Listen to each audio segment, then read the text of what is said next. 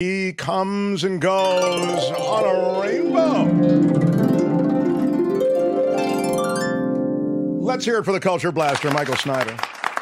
Greetings and salutations, MT Show people. Hi, Kim. Hi, Albert. Um, everybody that's involved. Teresa joined. Uh, Yeah, we had quite the fun crew today, yeah. really, really great. And uh, I know you've been having some throat issues, but you should tell the people because of those issues, you landed the lead role in the animated feature Froggy Went to Courtin. I do have some problems with the uh, with the throat. I'm not saying there's a croak involved. I missed a couple of big voiceover jobs because of the, the. I can't get any projection from the voice. Well, speaking of croaking, um, yesterday to commemorate the death of O.J. Simpson, I slashed the tires on a white Ford Bronco. I felt so, Oh, felt so good about it too. I know it's a con- and th- and those were in short supply with uh, with that crime. I agree. I agree. That was not the way things went. No, shout out to Ron Cook, by the way. Big shout out. I like to give. Uh, you know, we're we're crowd funded, Michael. So I'm giving a big shout out to Ron. Big shout out. Twenty dollars super sticker. You Thank have you. a massive crowd that's ever growing. Like I said last week, They're really- thirty thousand plus or uh, subscribers. Yeah, th- I think yeah, it's great. Uh, eligible sitting presidents not on the ballot. The political science is ridiculous. Yes, um, Murphy. Yes, the science. The science is ridiculous. Murphy Rowan with the five spots. So thank you for that uh, super chat, Michael. Sorry, I didn't mean to No, interrupt. I, I, this is okay. Uh, you know, your fundraising is. Uh, well, when it- people jump in, I like to celebrate them, it's Michael. as egregious as PBS. I right. I want to just tell you right now, but uh, right. rather than keep people on tenterhooks, shall we talk about the popular culture of the weekend? Well, I Well, I wanna popped- ask Kim, I popped- Kim, Kim have something? Did you have something? Yeah, Kim? I'm hoping you can turn Michael Snyder up a little bit. I think he's low. Is this better, uh, Michael? Can you speak, please? I shall speak. Is that any better or not? trippingly across Maybe the a little a little higher. Higher still. This is Yeah. we're messing up with the, with the levels today, man. I can't even imagine uh, the tech All right. involved. Thank you.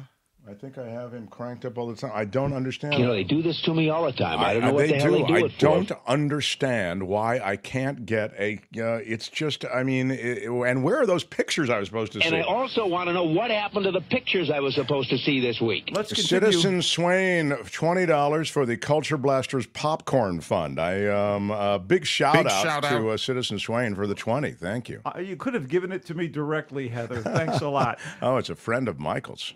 Well, I, I'm glad there's somebody out there that considers themselves a friend of mine because I think friends are in short supply. uh, Citizen Swain. Girl, you nice just job. woo. Yeah. All right. So let's let's go with the films. Let's talk a little bit about movies because um, there is a very provocative film that leads the pack this weekend. The new movie from bravura filmmaker Alex Garland. He, Bravura, yeah, He of the brilliant and disturbing thriller about the dangers of AI, Ex Machina. which- Oh, my- one of my favorite movies ever. Yeah, it's fantastic.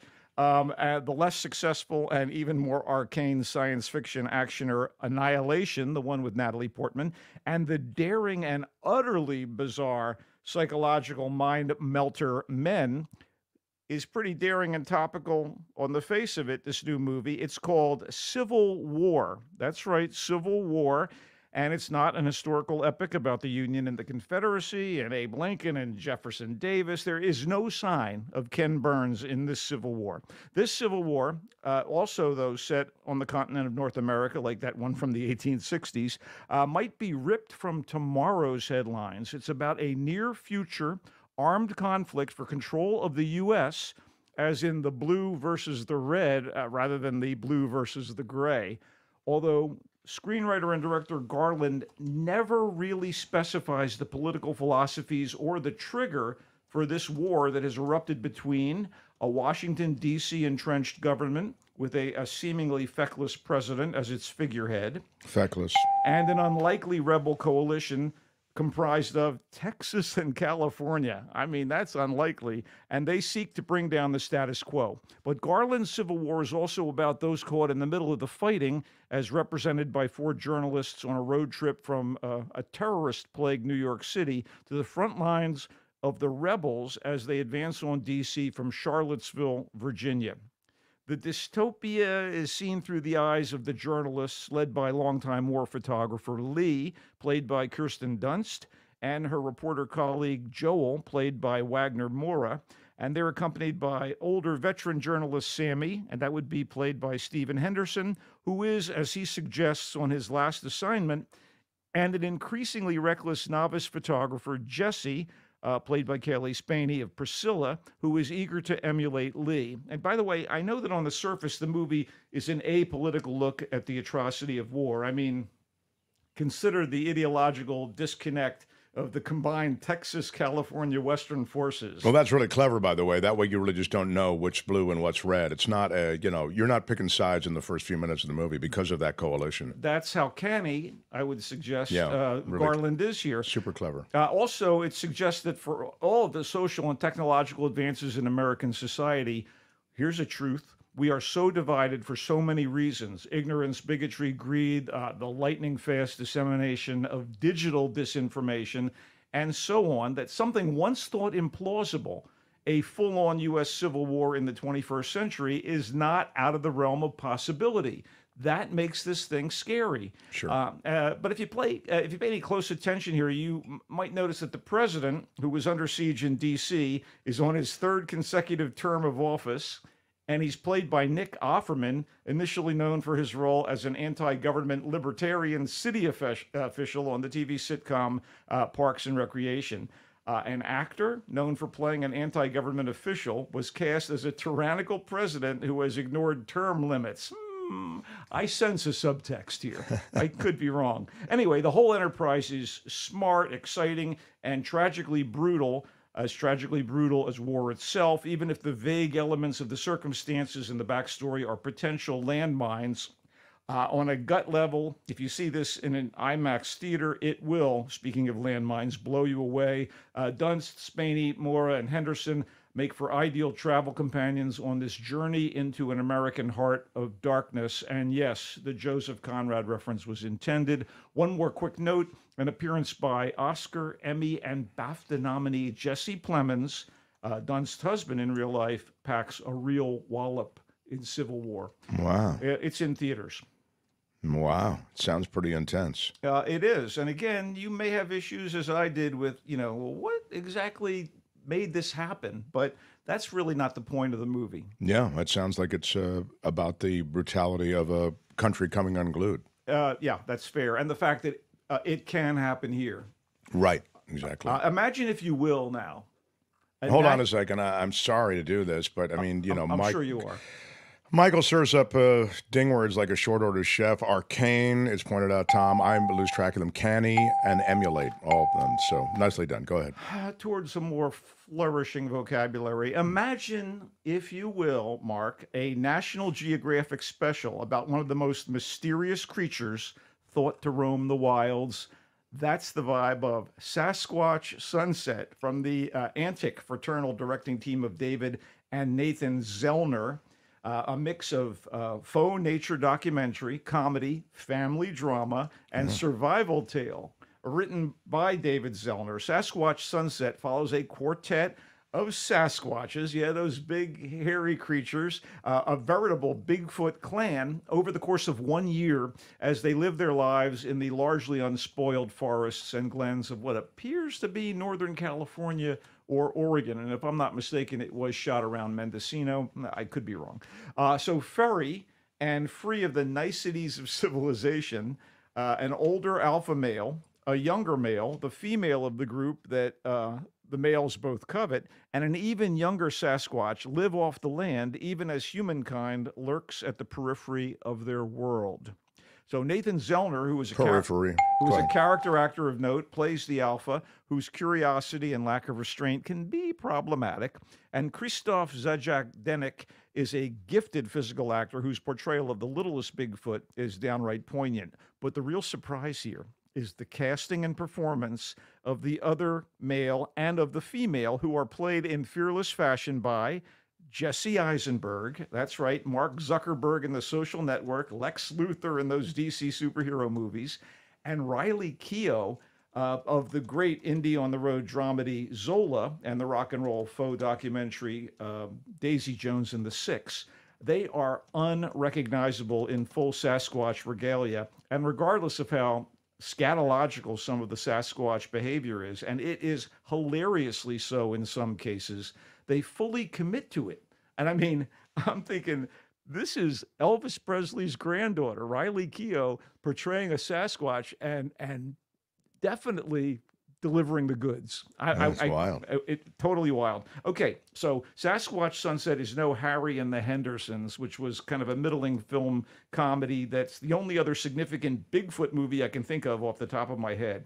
But this sunset is fresh, idiosyncratic, and thoroughly entertaining as it plays out in beautiful natural settings, through changing seasons, and through changes in the shaggy lumbering quartet. I thought it was so cool. Uh, Sasquatch Sunset is in theaters right now. Wow. Yeah, so it's it's not a comedy.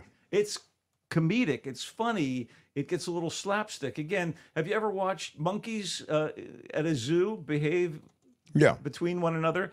There's some element of that. This is these are primates, but you know, uh, a little less evolved from us, or are they? Anyway, Will um, I cry at the end, Michael? um, you might, you might not. I don't know. I know that you're an animal lover, but you know, I am, and I, I, I sense that humans ruin their life at the end. Am I right about that, Michael? I know nothing about this movie, but I'm, I'm telling you, it's my experience uh, on this earth that human beings are going to ruin this uh, handful of sweet uh, Sasquatches. I, I just want to say no spoilers, Mark. No spoilers, at least not for this movie. All right, go ahead. moving along, even as it dances around its circumstances and situation, kind of like the way Civil War does. Uh, the post apocalyptic horror movie Arcadian, oh my God, it's kind of another creepy future. Uh, this has a visceral power to it, as well as the visceral power of top billed cast member Nicolas Cage. Our man Nick plays survival minded rural denizen Paul, a father Visceral and Denizen. dedicated to keeping his two sons, Thomas, a dreamer and one of those lovers, not fighters, and Joseph, who's kind of a builder scientist type, safe from a threat that comes by night. So it's the future. There's something hinky that went went on, and civilization has been imperiled. In any case, monsters lurk. And when Thomas decides to visit the cute girl at the neighboring farm and fails to come home before nightfall, Daddy Paul must head out and risk it all to find the kid and try to fend off the legions of beasties. So, directed by Benjamin Brewer from Mike Nilon's spare script, Arcadian is more family drama in the wilderness. Wow, there's a reference to Sasquatch Sunset. Uh, but there are no Sasquatches here, but there are like horrible creatures. Let's just say yikes about that. And it's a trashed near future, but its war is an uncivil one between humanity and truly fearsome, fast moving, fanged and clawed demons that brought to mind the shape shifting antagonist of John Carpenter's The Thing. Remember how scary that thing Oh was? Oh my God, it's one of the most the scariest movies Imagine I've ever pa- seen. packs of them. Wow. Okay. Um, I had questions.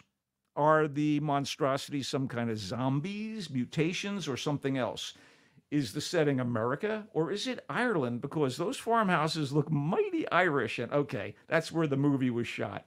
And what's the true provenance of Paul's sons? Ultimately, you know what? I didn't care about the answers or the fact that the characters make some senseless decisions in the face of the threat targeting them with Cage in courageous taciturn mode. In other words, no real chew- no real chewing of the scenery.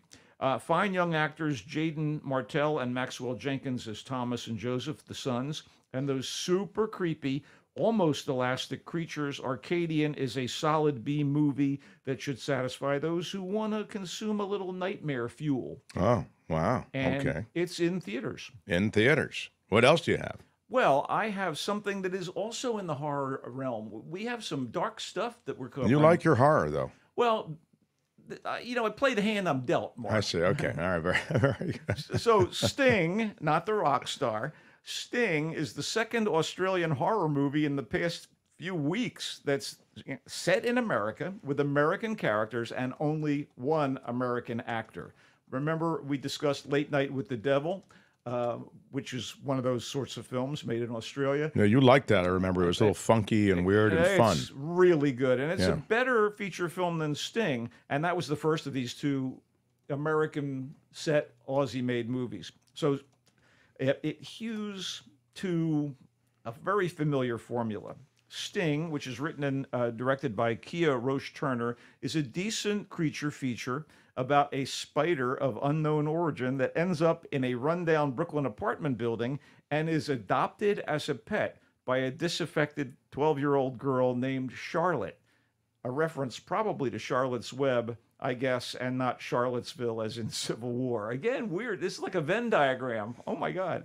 Anyway, this spider has a rather ravenous appetite and seems to grow far more rapidly than your garden variety, uh, variety arachnid. It, it endangers all the folks in the building, whether they're nice or mean or clueless, and any unfortunates who might uh, stop by the tenement. So Charlotte is played by uh, Alyla Browne, and she has issues with her mother, played by Penelope Mitchell, and her stepfather, played by Ryan Corr. And he is a struggling comic book artist who works in the building as a handyman to make ends meet. Thus, when things go hinky, he's the guy that has to investigate. Oh man. Okay. So, despite her issues, uh, Charlotte doesn't necessarily want to be an orphan, and she surely has no axe to grind with the exterminator who's called in to investigate what appears to be a, a rat infestation. Um, you know, by the way, he's played for comic relief by that sole American in the cast, uh, Jermaine Fowler. Still, the spider, which Charlotte calls Sting, has an agenda of its own. And the message here be careful of exotic pets, people. I mean, if you're scared of spiders, by the way, you may want to sit this one out. There was a classic uh, National Lampoon magazine cover with someone holding a pistol to the head of a cute dog under the headline, Buy this magazine or we'll shoot this dog. Now, if that made you uneasy, you might not want to watch thing. You should probably pass on this. I mean, seriously, as soon as a crying baby, a cute little chihuahua, and a kitty cat show up in Sting, anyone watching this has to be thinking, uh, uh, spider chow. Anyway, uh, it's another B movie and one with decent special effects from the gang at Weta in New Zealand. Sting isn't bad. It's silly, bargain matinee or Saturday night streaming fun. It is in theaters. No. Kim, I- you had something? I just want to say that this picture is going to keep me up at night. So It is kind of it's it's Yeah. kind of chilling. You see the spider there in the background on the I on the ceiling. Right. I can't It- even it- sleep when there's a, a normal sized spider on my ceiling. If But it's even on my ceiling, like I can't her- go to sleep her, until um, it's dealt with. But that's her her pet. You're saying Right, right. It's her pet. That's and, her and- pet. And, Kim, are you afraid of Spider Man? I'm just asking. Not the man.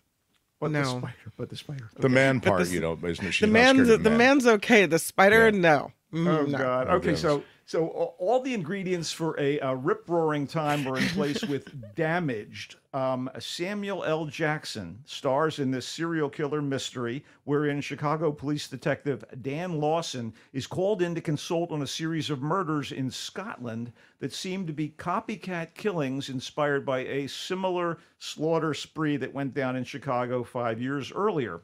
So Jackson, of course, plays Lawson, a fish out of water in Edinburgh.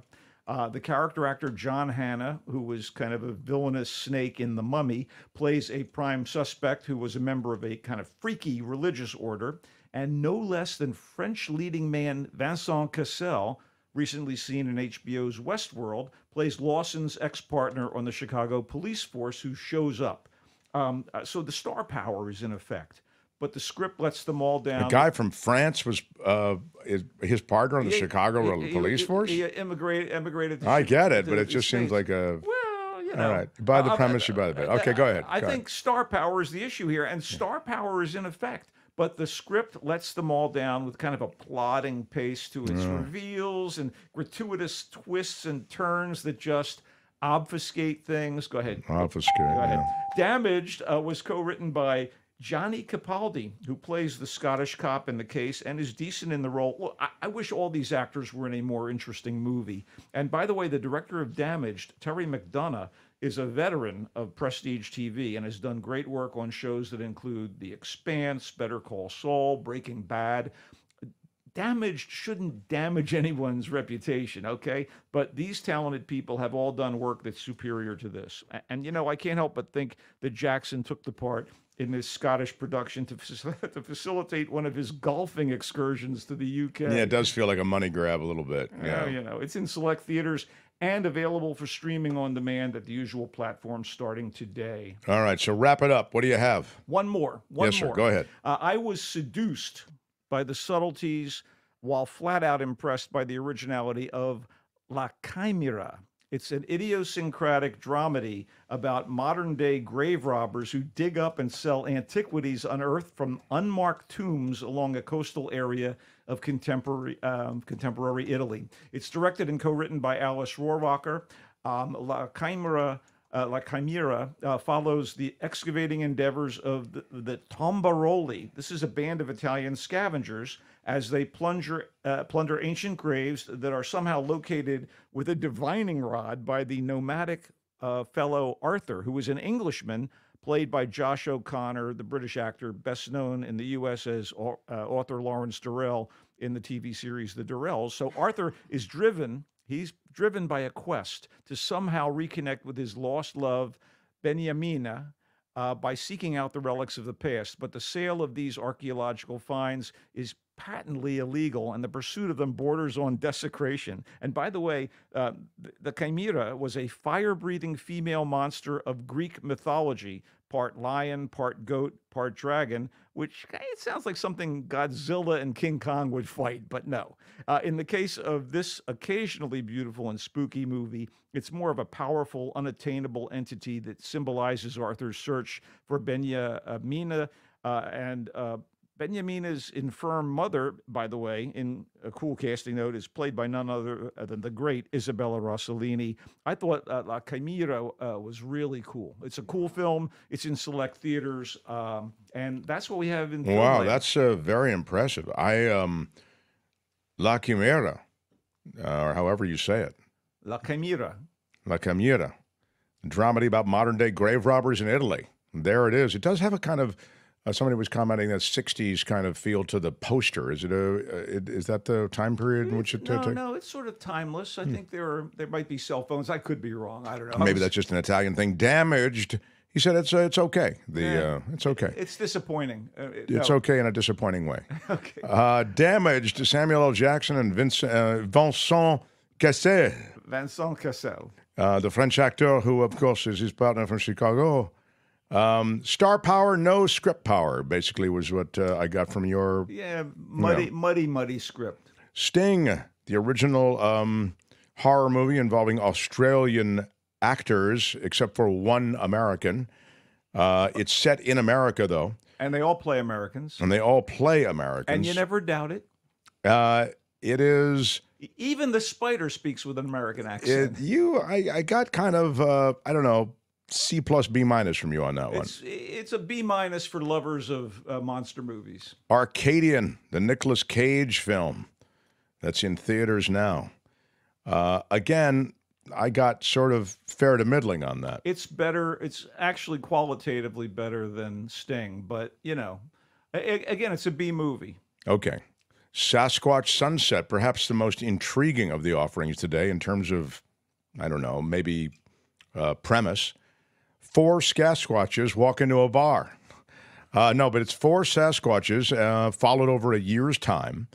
And two of the Sasquatches uh, are award winning actors.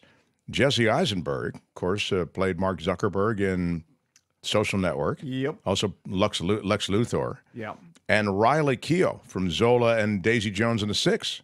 Among other things, she's uh, she was also in the girlfriend. Uh, Anyway, they both do great jobs, and, and Michael kind of liked this. Oh, I, I that and La Chimera, and uh, Those are your picks for the week? relatively speaking, except for the Big Banger, which I think is definitely yeah, which is uh, coming up next. Sasquatch Sunset is in theaters, and I'm intrigued. But most intriguing, perhaps potentially most disturbing, and at the same time, perhaps most relevant Civil War, a near future battle for control of this country.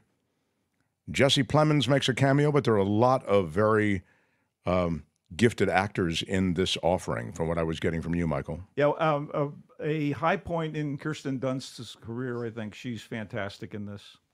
Uh, and they are Jesse Plemons and Kirsten Dunst, a couple in real life. Yeah, but he's really um, a minor figure in the movie. Nonetheless, uh, you know, his scene Is powerful. very. Civil War is in theaters, uh, and uh, it's significant. And one of the things they do so effectively, Michael was saying, is they don't establish red blue. It's not about that. You've got an alliance between California and Texas. So that should tell you all you need to know about the fact that they kept it deliberately confusing. Yeah, that militia wants to bring down the sitting government. So There it is. Uh, Michael, what a fine job you've done running down different movies that exist in different genres. Uh, I'm always astounded at your abilities. I'm wondering if you want to weigh in on our. Uh, well, I'll do this first. I'll say goodbye to you, and then I'm going to because we've got to break this out as a separate video. Uh, where can we read your stuff, sir? I am starting on Monday, uh, visible with articles every week in Voice of San Francisco, which is a new daily online publication at voiceofsf.com. And I'm uh, happy and proud to be involved with the organization. A lot of us are uh, refugees from the Marina Times, and we have uh, found new times here with Voice of San Francisco. Check him out soon. You can find him here on Fridays. He comes and goes on a rainbow. Bye bye, Michael. Fare thee well, and go Giants, go Warriors. Hi, it's Mark, and I thought that was great. Hit the notification bell, you'll know whenever there's a new video being dropped, and please subscribe to our channel to help us save the universe.